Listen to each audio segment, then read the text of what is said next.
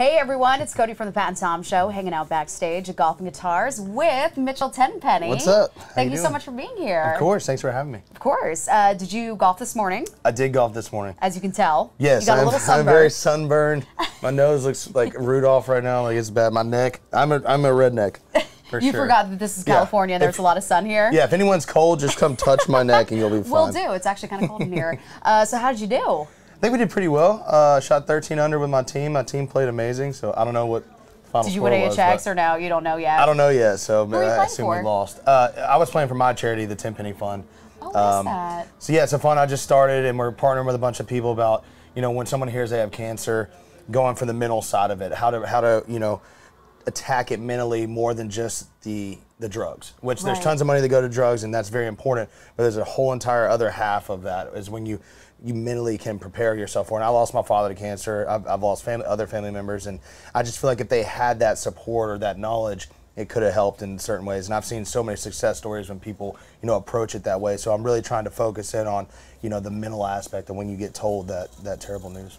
I love that. And where can people Thank you. access information on Yeah, it's on my website, uh, Mitchell ten or Mitchell the number ten penny.com, and uh, there's a ten penny fund. You'll you'll see it right on the front, and uh, or you can Google the ten penny fund, something like that as well. Great. Thank you. So congrats on all the success Thank on you. Drunk Me, Alcohol You Later. Thank you so much. I don't know if you know this, but you can really sing. no, You have like this natural talent that's Oh, just you. incredible. So, what makes you kind of a rare breed, unlike other country music artists, is that you actually grew up in Nashville, right? Yeah, born and raised. I'm proud of my city. I love Nashville, and yeah, I'm pretty lucky to have been, you know, kind of raised in it and grown up in it, and I love what it's become. It's a great city. Yeah. Have you always loved music? I mean, I, were you always Yeah. influenced by your own city? Yeah, absolutely. And I- you know, I kind of grew up in the industry, the songwriting industry. Um, my grandmother was a big part of that. My mother worked in in, the, in publishing as well, still does. Okay. So I got to, I was surrounded by songwriters my whole life, and I just I Right. fell in love with it, and I just didn't know what else to do. Kind of up my head. You know?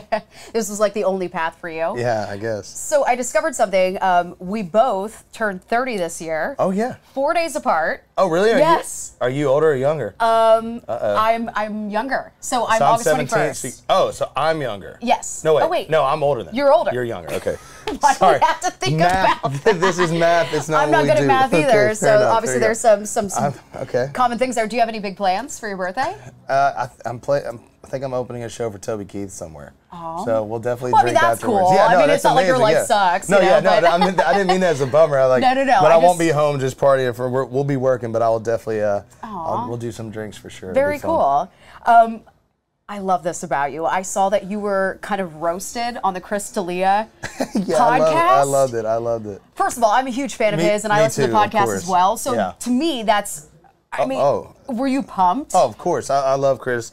I mean, he was just listing off names of uh, stagecoach artists. Oh, that what it was? And then uh, he just happened to pick on me. Ten Penny, I guess, really hit a spot for him. right. and, He's like, what is this um, name? but it was, yeah, that was funny. I get called Dr. Giggles all the time now. So Dr. Thank- Giggles. Thanks, Chris. I, I appreciate it. And it is my real name, Chris. I love it. So I know you are touring a lot this summer. What tours are you on? Are you a part of one attached to anything um, major? yeah, we're with, out with Old Dominion right now on the Make It Sweet tour uh, with Old Dominion, Jordan Davis.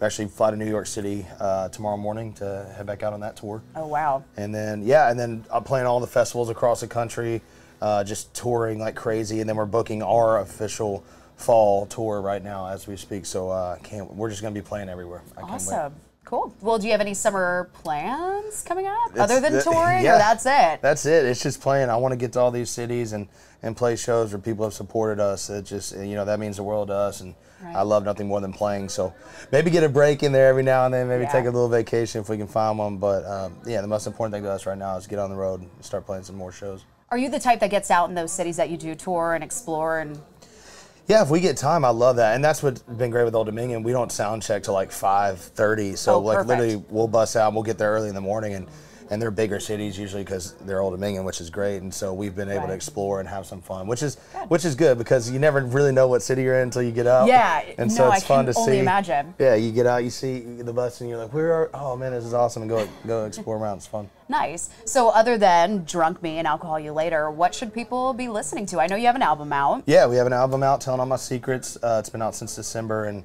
um, yeah, it's my first record. And there's a lot of songs on there that uh, you know I hope I hope get to see the life of of the single world. But if Yeah. not, I mean, I'm writing every day still. Oh, perfect. I've got a ton of songs that I'm just itching to get out. But just so it's the waiting game, it's the patience game. Yeah, I know how that goes. Yeah.